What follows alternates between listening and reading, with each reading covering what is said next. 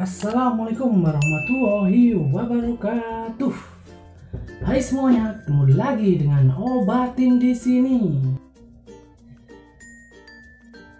Kali ini Obatin akan mencoba untuk menerangkan kepada para petani mungkin belum tahu apa itu fungisida, apa itu arti dari fungisida, bentuknya seperti apa, dan kegunaannya untuk apa? Dan digolongkan bagaimana? Atau digolongkan berapa golongan?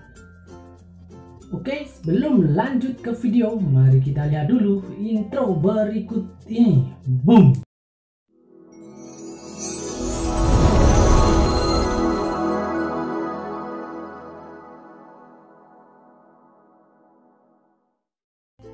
Oke mari kita untuk membahas tentang apa itu fungisida. Fungisida yaitu adalah pestisida yang secara spesifik membunuh atau menghambat cendawan penyebab penyakit.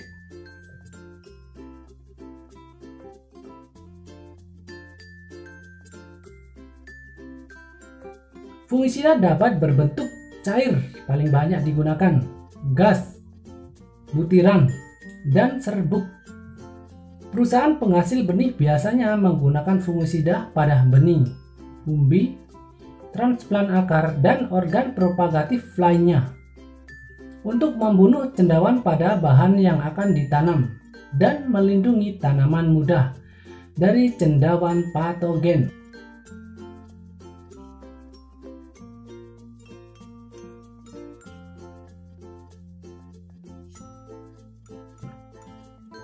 Selain itu, penggunaan fungisida dapat digunakan melalui injeksi pada batang, semprotan cair, serta langsung dan dalam bentuk fumigan atau bentuk gas yang disemprotkan.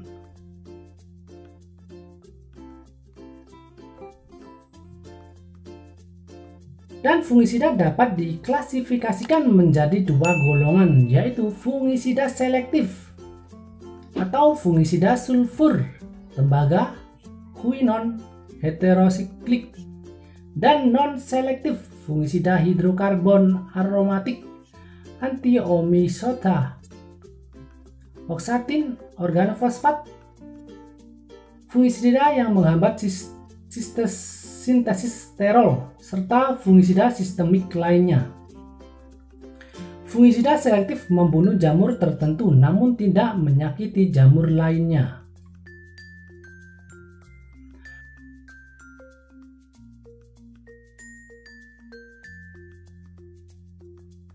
Fungisida juga dapat dikategorikan sebagai fungisida kontak, translaminar, dan sistemik.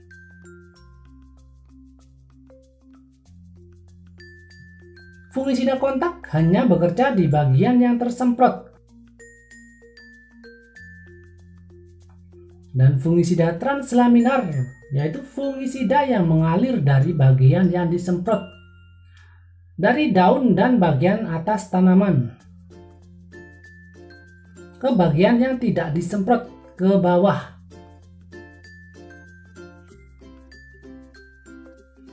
Fungisida sistemik diserap oleh tumbuhan dan didistribusikan melalui sistem pembuluh tanaman.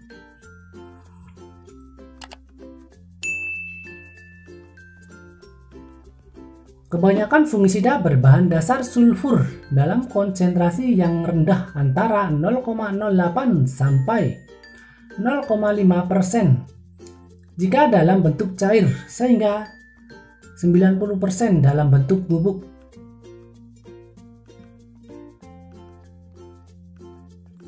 Residu fungisida telah ditemukan di makanan manusia, kebanyakan dari aktivitas pasca panen untuk memperpanjang usia simpan hasil pertanian.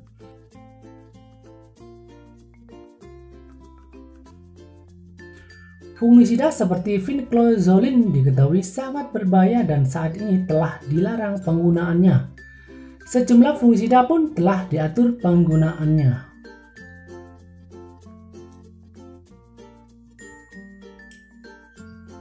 Oke, itu sekilas dari fungisida ataupun pengertian dari fungsinya. dan menurut golongan dan klasifikasinya.